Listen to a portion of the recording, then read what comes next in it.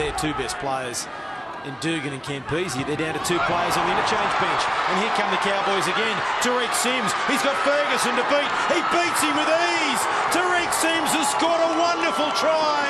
We've seen his defence in recent weeks, but what about the footwork? He made Blake Ferguson look very ordinary, and ordinary he's not.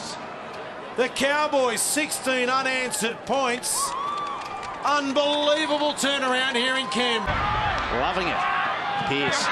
Short ball to Anasta! He was stopped and dropped! What about that for a shot? Let's take a look at normal speed.